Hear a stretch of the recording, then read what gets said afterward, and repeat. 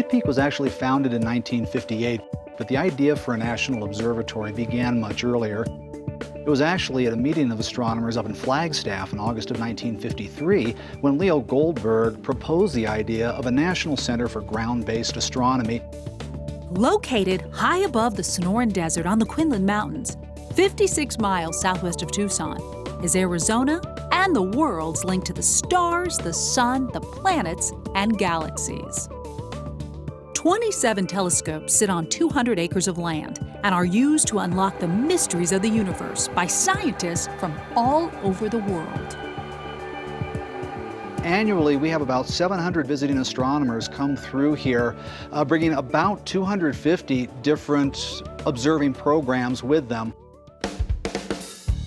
Among some of the more powerful scopes is the 4-meter Mayall telescope, which stands at 18 stories. The WIYN telescope is the second largest on the property and has been used to study gamma ray bursts and the evolution of stars in clusters. We've had a number of discoveries made here at Kitt Peak. Um, the 2.1 meter, which was originally one of the, uh, the first large telescopes built here, um, was the first to observe an instance of gravitational lensing in the universe, which was something that was proposed by Albert Einstein's theory of general relativity that said gravity can bend light much like a lens. The 4-meter telescope, the largest optical telescope on Kitt Peak, was one of the first to really do infrared astronomy has been responsible for studying the role of dark matter in the universe. Kitt Peak is also home to the McMath Pierce Telescope, the world's largest solar instrument. Additionally, they've found evidence of water vapor on the sun. It's studied the moons of Jupiter. It's regularly used to study the atmosphere of Mercury. The telescopes are housed in protective structures that open up to reveal the skies above. It's kind of like a metal curtain call. All eyes wait for the doors to open to catch the big show. Specialized computers help astronomers navigate the telescopes all over the nighttime skies.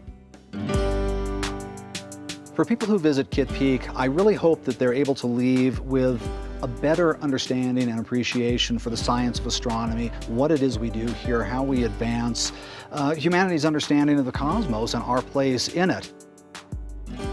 If you would like to peer through one of the three telescopes at the Visitor Center here at Kitt Peak, you can do so all year long, seven nights a week, except for six weeks during the monsoon season. Kitt Peak offers an observing program that's open to the public.